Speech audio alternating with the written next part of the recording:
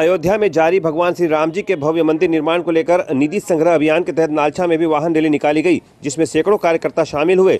इस दौरान नालछा खंड के चार मंडल में वाहन रैली निकाली गई, जिसमें सैकड़ों की संख्या में दोपहिया वाहन सम्मिलित हुए, जिसमें हज़ारों राम भक्त उपस्थित रहे। हाथों में भगवा पताकाएँ लिए जय श्री राम के उद्घोष के साथ उक्त वाहन रैली नालछा सहित कागदीपुरा, जीरापुरा, लुनेरा गोलपुरा, कुराड़िया सहित कई गाँवों में निकाली गई।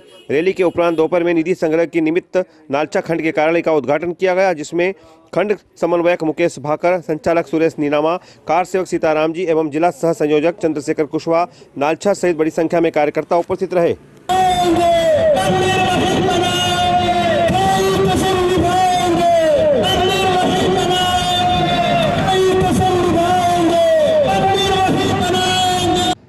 जो ये वाहन रैली निकाली गई है श्री राम मंदिर निर्माण निधि संग्रह अभियान के तहत यह वाहन रैली जन जागरण के लिए निकाली गई जो नालछा सहित नालछा में चार मंडल है सभी मंडलों में ये वाहन रैली निकाली गई। तो इसका मेन उद्देश्य क्या है वाहन रैली का? इस वाहन रैली का मुख्य रूप से उद्देश्य यह था जन जागरण करना। जन जागरण के उद्देश्य से यह वाहन रैली निकाली गई। जन जागरण किस हिसाब से जन जागरण निधि संग्रह निधि संग्रह अभियान जो चल रहा है उस अभियान के तहत जन जागरण करना था। उस उद्देश्य से यह वाहन